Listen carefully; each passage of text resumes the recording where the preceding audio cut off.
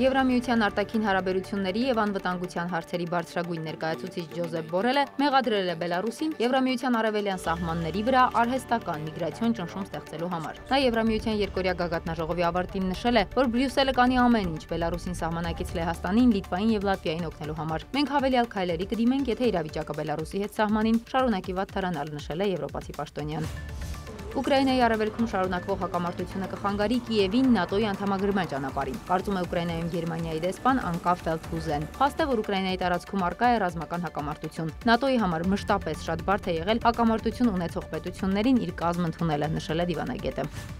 Ուկրաինայի հետախուզության աշխատակիցները ցույց են տվել, թե ինչպես են նրանք օթանավակայանից դուրս եկել Քաբուլ քաղաքացիներին տարհանելու հատուկ գործողություն իրականացնելու համար։ Այս ռիսկային գործողությունների տեսագրությունը Facebook-ում հրապարակել է ՊՆ հետախուզության գլխավոր վարչությունը։ Տարհանման մյուս առաքելություններից ոչ մեկը չի համարձակվել նման ռիսկային որոշում կայացնել, քանի որ օթանավակայանի հարակից տարածքը արդեն գտնվում էր Թալիբ գրոհայինների վերահսկողության տակ։ Այնուամենայնիվ, հենց այս մոտեցումն էր, որ կարճ ժամանակահատվածում հնարավոր դարձրեց գտնել եւ վերցնել տարհանման համաձայնություն ստացած հնարավոր առավելագույն թվով մարդ մարդկանց, ասված է հաղորդագրության մեջ։